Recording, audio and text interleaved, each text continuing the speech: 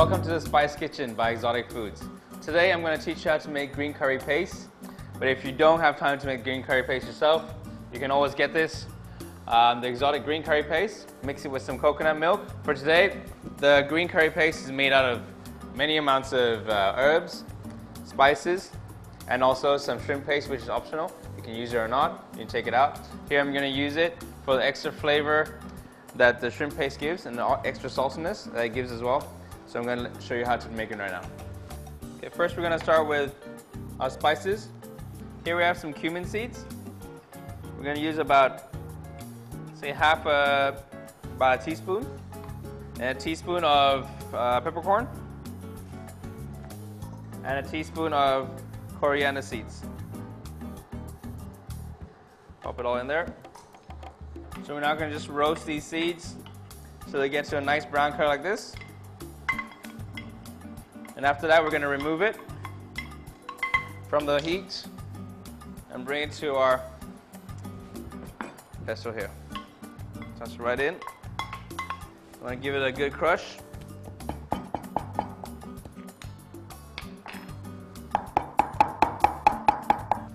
going to set this aside. Okay. I get some um, lemongrass. Give it a good bang.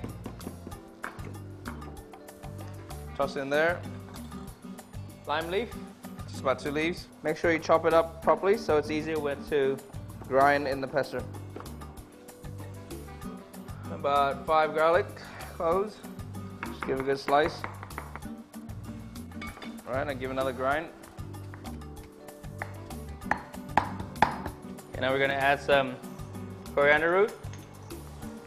About two roots here. Just give it a knock. Kind of half.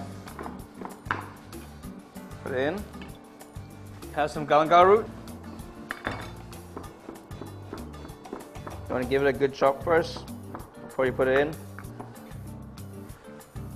Some green chilies, three large ones, and about eight bird's eye chilies.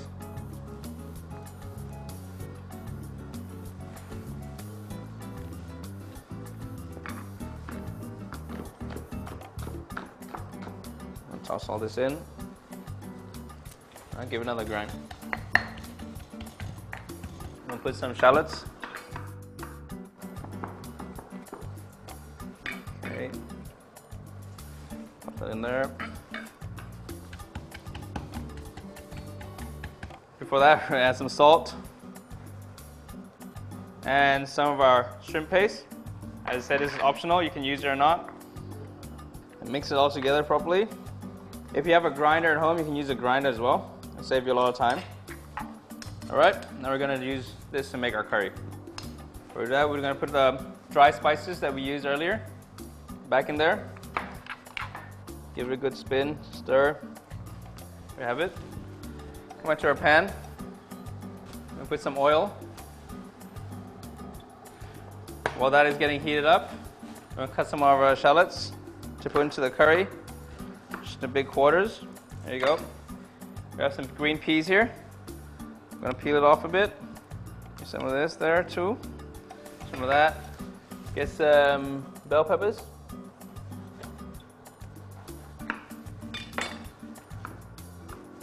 Just cut into little uh, into big strips here, and half it again.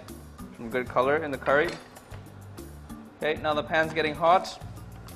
Now that we're done with our curry paste, put into a cup here. All right. Okay, now we're gonna make a curry, green curry. The green curry we're gonna use is a paste by Exotic Foods. It's ready made in a bottle. We wanna fry it off in some oil first. So we have some oil on the stove heating up right now. And we're just gonna stir fry this in the oil to release the sweetness of the spices and get rid of all the bitterness. Green curry is um, available anywhere in, in Thailand, obviously. So you want to stir fry this off a bit. Once that is ready, add our coconut milk. We'll bring this to a boil. While we're waiting that to come to a boil, we get our chicken. It's this chicken thigh that I have here.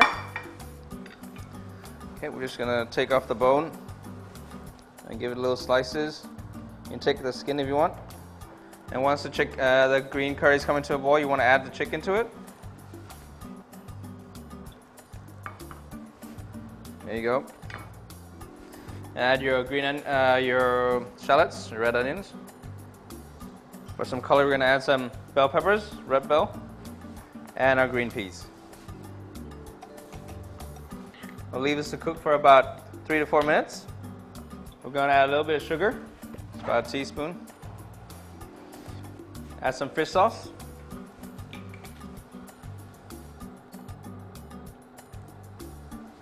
Okay, we'll let this boil for about two to three minutes. And then the chicken has been completely cooked.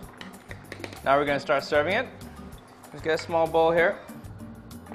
In some of the vegetables first. And our chicken pieces. There you have it.